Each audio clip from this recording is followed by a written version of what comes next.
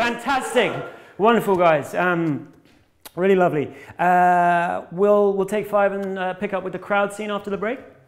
Thank you, Mr. Adamsdale. So, uh, this is a play about uh, uh, a sort of flannelly, middle class writer guy living with his girlfriend in a flat. And you know, they've got it all the plants, the box sets, organic toothpaste, but there's that.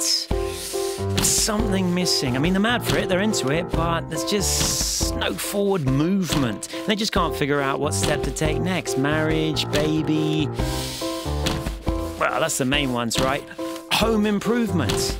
Yeah, they could get a knock through Knock through, there's gonna be a knock through. from the kitchen into the dining room Knock through, there's gonna be a knock through. to make a more integrated space. Knock through, there's gonna be a knock through. To be in. Knock through, there's gonna be a knock through. Ah. Knock it through, please. Anyhow, on the week of the building, she gets called off on business, which is not ideal because he's left in charge. But you know, bar a few glitches, he steps up.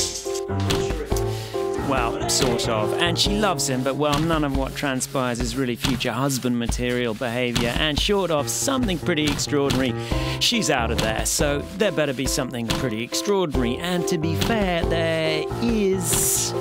Knock through, there's gonna be a knock through. Doesn't necessarily help. Knock through, there's gonna be a knock through. Not your normal knock through.